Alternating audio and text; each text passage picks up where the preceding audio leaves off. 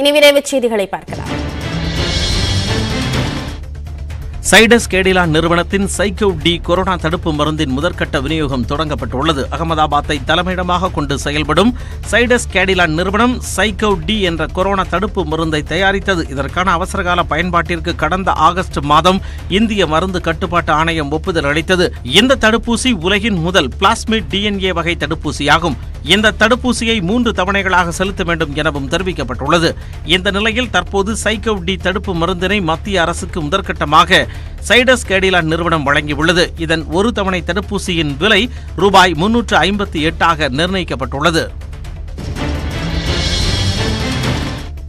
சீன ராணுவத்தினர் தன்னை கடத்திச் சென்று துன்புறுத்தியதாக சமீபத்தில் அவர்களிடமிருந்து மீட்கப்பட்ட அருணாச்சல பிரதேசத்தைச் சேர்ந்த பதினேழு வயது சிறுவன் மிரம் டரோன் தெரிவித்துள்ளார் வனப்பகுதியில் வேட்டையாடிக் கொண்டிருந்த தன்னை பிடித்து கைகளை கட்டி போட்டு முகத்தை மூடி சீன ராணுவ முகாமிற்கு கொண்டு செல்லப்பட்டதாக குறிப்பிட்டுள்ளார். அங்கு நாற்காலியுடன் சேர்த்து கட்டி போட்டு கரண்ட் ஷாக் கொடுத்து தன்னை சித்திரவதை செய்ததாகவும் இரண்டாவது நாளிலிருந்து தண்ணீர் உணவு வழங்கி தன்னை பார்த்துக் கொண்டதாகவும் மிரன் தெரிவித்துள்ளார். கடந்த ஜனவரி பதினெட்டாம் தேதி சீன ராணுவத்தால் கடத்திச் செல்லப்பட்ட அந்த சிறுவன் மத்திய அரசின் தீவிர முயற்சியால் கடந்த இருபத்தி எட்டாம் தேதி மீட்கப்பட்டு அவரது குடும்பத்தினரிடம் ஒப்படைக்கப்பட்டார்.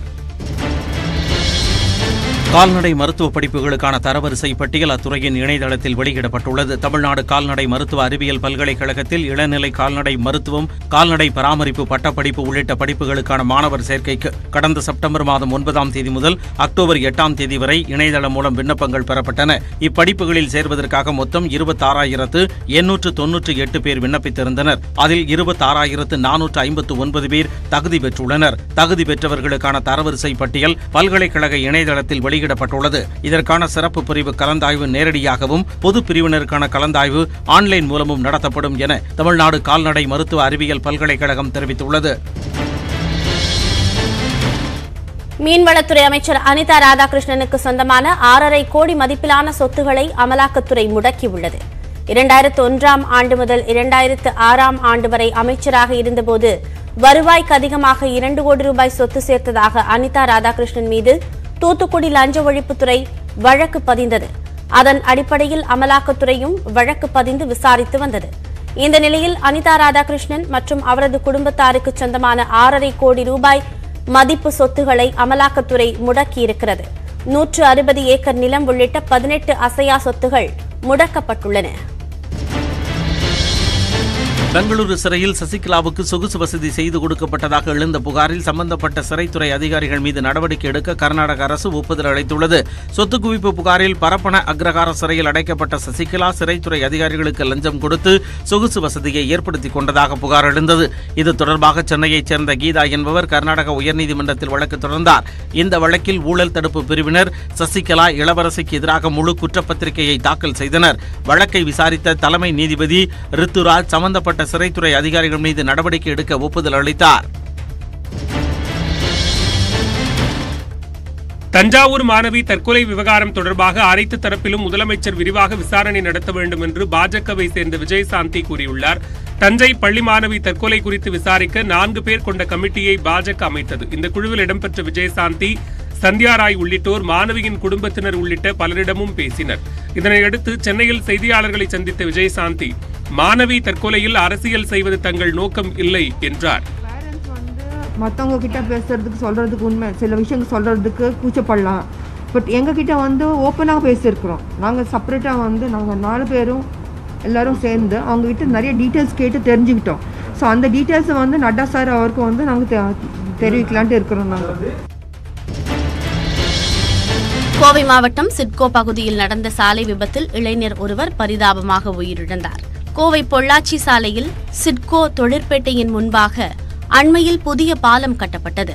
இந்த பாலத்திலிருந்து இறங்கிய இருசக்கர வாகனம் ஒன்று எதிரில் வந்த மினிடோர் மீது மோதியது. இதில் பைக்கில் வந்த நிஷாந்த் ராஜ் என்ற இருபத்தி ரெண்டு வயது இளைஞர் பரிதாபமாக உயிரிழந்தார். இவரது ஆடை மினிடோரில் சிக்கியதால் சிறிது தூரம் மினிடோரிலேயே உடல் இழுத்துச் செல்லப்படும் காட்சிகள் சிசிடிவியில் பதிவாகியுள்ளன. பாலத்தின் அருகே வேகத்தடை இல்லாததே விபத்துக்கு காரணம் என குற்றம் சாட்டும் பொதுமக்கள் நெடுஞ்சாலைத்துறையும் மாநகராட்சி நிர்வாகமும் விபத்தை தடுக்க நடவடிக்கை எடுக்க வேண்டும் என கோரிக்கை வைத்திருக்கிறார்கள். திருச்சியில் நிதி நிறுவனம் நடத்தி சுமார் இருநூற்றி ஐம்பது கோடி ரூபாய் மோசடி செய்த நபரை மதுரை நீதிமன்ற வளாகத்தில் தாக்கிய சம்பவம் பரபரப்பை ஏற்படுத்தியிருக்கிறது. திருச்சி தில்லை நகரை சேர்ந்த முத்துராமலிங்கம் என்பவர் செந்தூர் ஃபின்கார்ப் என்ற நிறுவனத்தின் மூலம் பல்வேறு கவர்ச்சிகரமான சலுகைகளை அறிவித்துள்ளார்.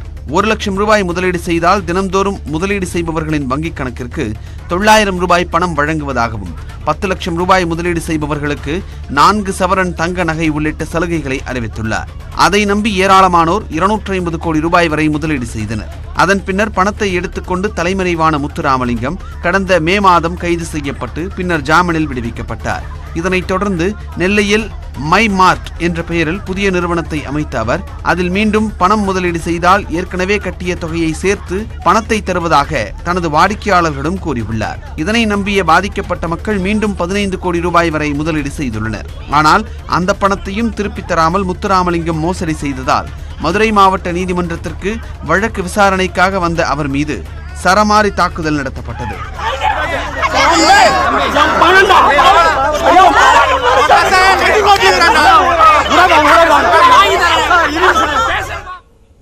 இடைவெளிக்கு பிறகு செய்திகள் தொடரும்.